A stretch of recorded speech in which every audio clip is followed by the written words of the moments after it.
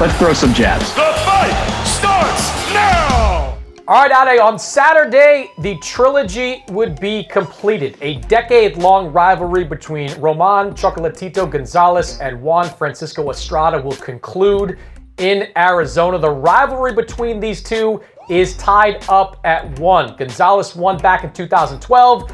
Estrada picked up a disputed decision in 2021, and now here they are once again. How do you see this fight playing out? Firstly, I think it's 2 zit to Gonzalez. I thought um, Chocolatito won the second fight as well. But look, Ray's a thin decision, but I thought he won. I thought he done enough in that fight. Um, I see this one going the way of Chocolatito again. Um, you know, I, have been impressed with Chocolatito for, for, a long time. I think you're looking at a very special fighter here. And I like the way in which you got rid of Martinez as well. I know Martinez is not on Estrada's level, but is a young, hungry kid coming up in weight. And I thought he was going to cause Chocolatito some problems. And he quickly found out that there's levels to this game. Whereas Estrada in that win against Cortez, if it wasn't for that seventh round knockdown, you know, you, swings and roundabouts that could have gone the way of Cortez. So I feel like one's on the ascendancy and one's just staying. It's plateaued a bit, and I think that's Estrada that's plateaued. And I think Chocolatito, although the older of the two, I think he's just got too much. I think he really has. And like, I, have to put my hands up and say I was guilty when he lost to Rungvisai back to back. I kind of thought that was that for Chocolatito at the top level. And then he fought Kal Yafai. I remember thinking, okay, let's see what he can do against Yafai. And look, a lot of people, you know, maybe look at Yafai's recent performance and think, okay, he's not that good. Yafai had some good wins. I remember he beat, um, I think he beat Ishida, he beat Gonzalez.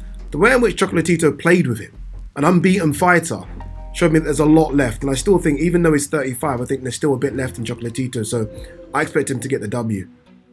I think you made a good point there when you said one fighter is kind of ascending and one fighter is starting to dip a little bit. I think that's a fair way to look at Chocolatito and Estrada. It's, remarkable that we're saying that Roman Gonzalez is ascending yeah. at this point of his career, but he has bounced back really nicely in the aftermath of those uh, losses to Sor Rungvisai, especially the last one. And I, I, too had him winning that second fight against uh, against Estrada, and I, I love the way he looked against Julio Cesar Martinez. Now, Martinez, I think in a way was exposed a little bit as being somewhat of a limited fighter. He's all offense and no defense, and Chocolatito just teed off on him and put like a, a, beating on him that makes me wonder exactly what Julio Cesar Martinez is going to look like yeah. in the aftermath of all that. But, you know, watching the fight between Estrada and Cortez, that was an opponent that was being kind of put in front of Estrada for him to look great against, and yeah. he didn't. Uh, and that makes you a little bit concerned about where Estrada is at this point of his career. Yes, he was off for a long time. Maybe he had a lot more ring rust than we thought, but he didn't look good in his last fight, and Chocolatito did. Let me ask you this question. Who is this fight more important for? I mean, both these guys sure seem like they're headed for the Hall of Fame when their boxing careers are over. But as we head into the trilogy, who needs this win more? It's a great question. It really is. Like normally you go to the older guy, right? The older guy needs it more. Uh, and Chocolatito being what three years older than Estrada. I- am going to give it, I'm going to answer it differently from a fan's perspective.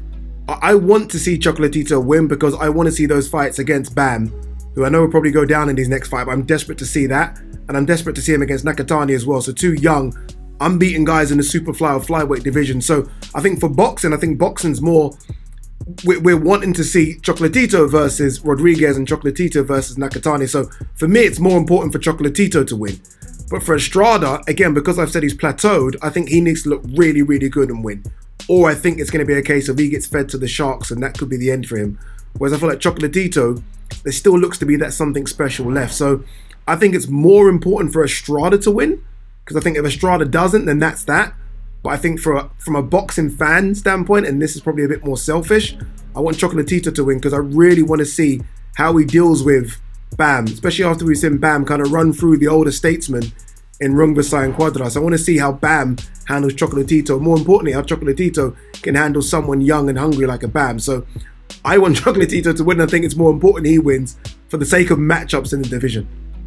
I, I tell you, an aside, I'm looking forward to seeing Bam in Arizona. He's going to be down there, and I just want to look him in the eye and say, I know you're going to 112, but could you really turn yeah. down a fight against Chocolatito yeah. if it's offered to you in March or April of next year? That's that's all I want to know uh, from Bam Rodriguez at this point. I, I think it's more important to Estrada, even though if Chocolatito loses, decent chance his career's over. Yeah. He may decide to retire if he loses this third fight to Estrada. But for Estrada, he's trying to put himself on the same level as Chocolatito when it comes to this four kings era of the super flyweight division with Cuadras and Sor Rungvisai and the guys that made up uh, the, the bones of that division. A win over Chocolatito, especially a decisive one, will make you say like, oh, maybe Estrada was the better of the two guys in the 115 pound division, or at least he's on that same level. A loss will clearly solidify Chocolatito at the top of, of this 115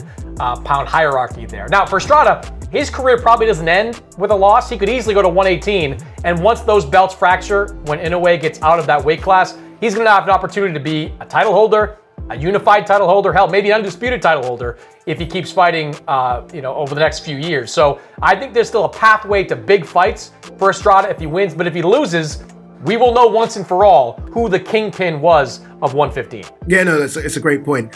Uh, it's funny, I remember looking at the pound for pound rankings after their second fight, and people still had Chocolatito above Estrada in the pound for pound ranking. So I think a lot of I people, did. you did right. I think a lot of people sort of thought um, uh, that Chocolatito won that second fight, and I feel like you're correct. Estrada needs to to win it just to almost silence those critics that come from that that second fight.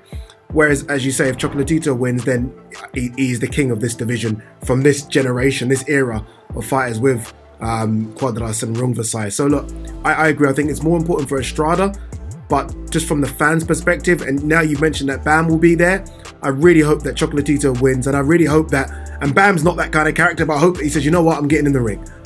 Because that's the fight I'm desperate to see. And like, I know Bam wants to go down, and he, you know, he wants the Sunny Edwards fight and others, but really and truly, the, the, sort of fight that will be stayed on your resume forever, stamped on your resume, is Bam versus Chocolatito at Superfly. And if I'm Chocolatito, I want that young, hungry guy that's destroying and has no respect for the elder statesman in the division. That's what I want to see next. So for me, I'm desperate for a Chocolatito win.